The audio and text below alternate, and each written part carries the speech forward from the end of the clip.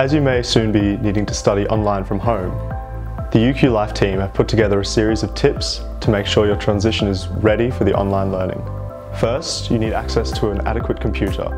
If you don't, you can contact the library and request access for one of the loanable laptops they have there. For online collaboration, you may also need access to headphones, a microphone and a webcam as well. For internet, make sure you have reliable access and sufficient data. If you have any questions, contact your service provider like Optus or Telstra. If you don't have internet access at home, you may be able to come onto campus and use the university's Wi-Fi. For more information, go to the library's webpage. Your study space is really important to the success of online learning.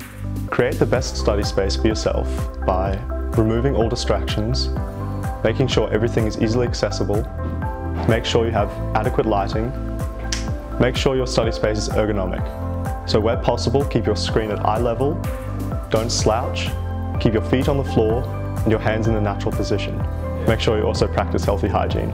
Most importantly, make the most use of the space that you have. UQ has put together a checklist of things to consider as you prepare to move your studies online. You can check it out at life.uq.edu.au forward slash online.